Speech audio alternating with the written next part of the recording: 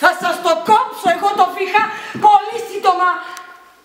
Μα, μα για ποια με περάσατε, για την τσούλα της γειτονιάς.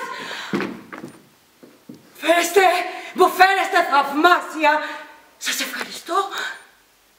Μου φέρεστε υπέροχα. Αυτός είναι ο σεβασμός που μου έχετε μετά, μετά από όσα έχω κάνει για σας.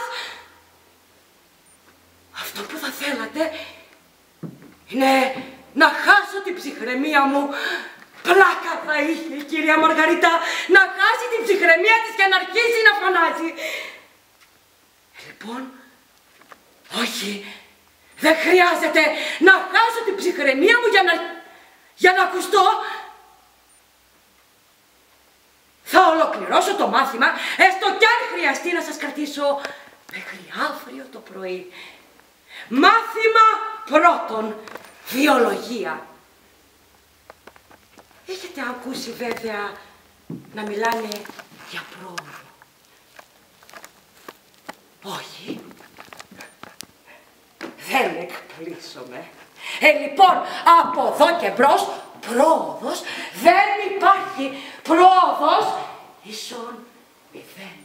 Αναμασάμε πάλι τα ίδια, αρχίζουμε πάλι από την αρχή. Αυτό είναι πρόοδος. Τίποτα δεν αλλάζει. Και τίποτα δεν πρόκειται να αλλάξει. Αυτό μην το ξεχάσετε ποτέ. Η κυρία Μαργαρίτα σας το γράψει στον πίνακα. Πρόοδος ίσον μηδέν ίσον στάση. Βέβαια, έχετε ακούσει να μιλούν για επανάσταση.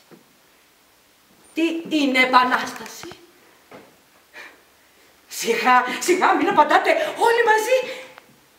Ε, λοιπόν, η επανάσταση είναι ακριβώς το ίδιο πράγμα. Προσθέτοντας τις προθέσεις επί και ανά στη λέξη στάση. Επί και ανά και στάση ίσον επανάσταση. Σύμφωνοι; Μην παίρνετε αυτό το ύφος. Το αποτέλεσμα είναι ακριβώς το ίδιο. Σας τη φέρανε. Όλα, όλα είναι ένα μηδέν, μηδέν, μηδέν.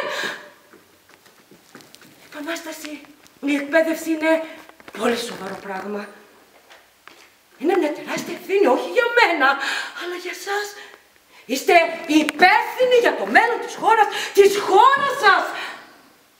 Και ακόμη, και ακόμη εσείς, είστε προνομιούς σας εξαρτούνται για να αποδείξετε ότι ο άνθρωπος που διαβάζει είναι ανώτερος από ένα γάιδαρο.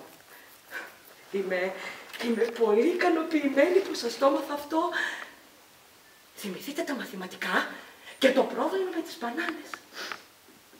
Πάντα, πάντα υπάρχει κάποιος που τρώει περισσότερο από τους άλλους. Είναι αυτός που ξέρει να γράφει και να διαβάζει. Ε, λοιπόν, αυτό είναι μαθηματικά. Όταν... Όταν θα έρθει η ώρα, να το πείτε κι εσείς στα παιδιά σας. Μια μπανάνα την τρώμε ευκολότερα, τα ξέρουμε να γράφουμε και να διαβάζουμε. Τι ωφελεί να δίνουμε χρήματα στους φτωχούς όταν, όταν τους αρνούμαστε την εκπαίδευση. Λιγότερες ζωές, περισσότερα βιβλία. Πάρτε, πάρτε για παράδειγμα τις χώρες με τη Σαχάρα. Δεν θα τα προτιμούτε να τους φτιάχναμε βιβλιοθήκες όπου, όπου θα μπορούσαν να βρουν ένα γυρίδιο. Τους έδειχνε πώς να επιζήσουν μέσα στη ζούγκλα. Αντί... Αντί γι' αυτό, τι άφησε η Αμερική πίσω της;